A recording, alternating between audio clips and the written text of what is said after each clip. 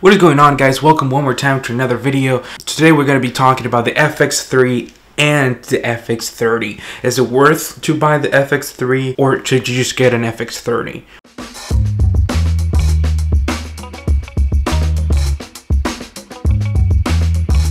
A while back Sony announced the Sony FX30 which is exactly what I'm recording on right now. So I bought it as soon as it came out. Uh, it was my first cinema camera and soon after that I bought the FX3 as well. I have seen so many videos of people saying you only need the FX30, don't need the FX3 it's just uh, crop sensor so you crop in 1.5 times in, uh, to full frame so you just need to compensate that with your focal length and uh, may not be as good in low light as a full frame maybe.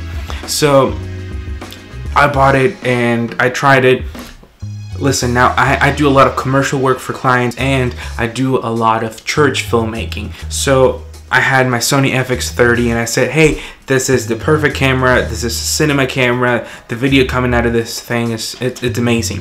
So why did I buy an FX3 if I already had the FX30? And I quickly realized that the dual base ISO of the FX30, it's not enough a lot in a lot of our churches and in a lot of convention centers where we have events of our churches we we don't have control over the lighting. More often than not, you're gonna find places where the altar or the platform is very well lit most of the times not always because i have definitely been in convention centers and churches that the lighting in the platform is not as good so let's take uh, an example of my church here new life st louis and um, these are some of the pictures that i've taken in our church and yeah let's put them on the screen. So we just came out of a remodel. Um, we also have new lights and the platform is lit differently than what it was before. And we had a transition time where we were trying to get used to now having new lights and different colors and all uh, and all that stuff because we also want to take care of people's skin tones. I, I said all that to say because I, I do a lot of reels and a lot of I try to capture most of the worship experience and so other people can come to our church because what they saw on social media. My vision is try to get to document the worship experience the best we can so when people go through our social media then see what they're they'll, they'll see what they'll find and if they come to our church the crowd is not well lit because we don't we really don't need it we don't need spotlights on, on people that are worshiping with their hands uh, lifted up and their eyes closed. We, we don't need that.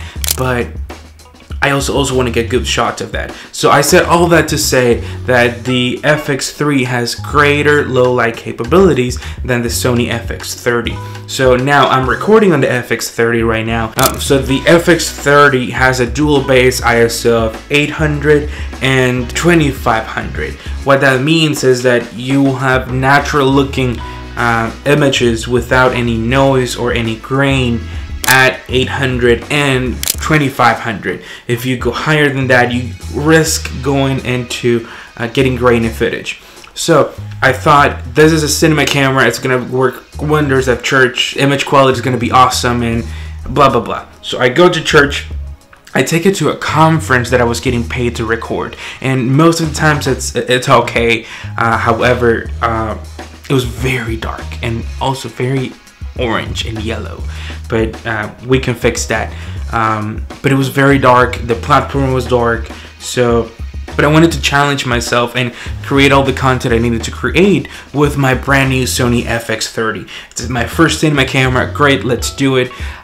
Uh, that didn't go as expected because it, again, it was very dark and the dual base ISO of 2500 was not enough. I didn't make the decision to buy the FX3 purely on the low light capabilities, um, but the low light capabilities influenced a lot my purchase. So I bought the FX3 for the next conference or a camp meeting and it was awesome because the FX3 has dual base ISO of 800 and 12,800. It's a significant jump.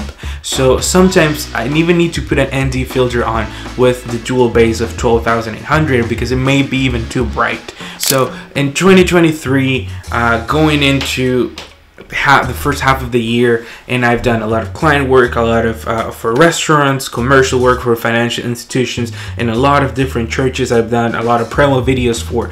Um, do I recommend the FX30? I guess it depends because if you are uh, and it's similar to what I'm doing, I wouldn't I wouldn't buy the FX30. However, if you are going to have this on studio or for part of your live stream, I will totally buy the FX30. Why? Because in the studio you have control lighting. You have a little more control of your lighting and you can be an 800 ISO and be perfectly fine because you have studio lights. Or if uh, for your live stream, most of the times our live stream is purely focused on the platform and what's happening there, that I would recommend the FX3 for. However, part on the creative team side of things. So if you're looking for, to do things for social media and get crowd shots and things like that, I wouldn't recommend the FX30. Like if it can do it, it can do it. And I'll put some cl clips on the screen that I've recorded with the FX30. Um, and it looks good. It looks okay. So, do you need to buy the Sony FX30 for your church, or should you buy an FX3? Well, um, I will buy the FX3. In fact, um, I was asked at church what camera will I recommend so we can uh, change the current cameras that we have and I recommended two of them and I think this is what we're buying. The Sony a7 IV for photography and you can use this as a B cam because it has great, great, great 4K video and the FX3 as a main video camera for social media, for announcement videos, for anything and everything that you need video for, the FX3 is the way to go. I love my FX30 and like I would recommend it if you don't care about low light. If you want to shoot outside or if you are shooting in a controlled lighting environment, go for it. The FX30 is a great bang for your buck. You get a lot of out of it great video. In fact i'm recording on the fx30 right now and i don't see a problem with it. So um, comment down below what do you think? Would you buy the fx3 or the fx30 for your church or your business or uh, whatever it is that you do? So thank you so much for watching. See you in the next one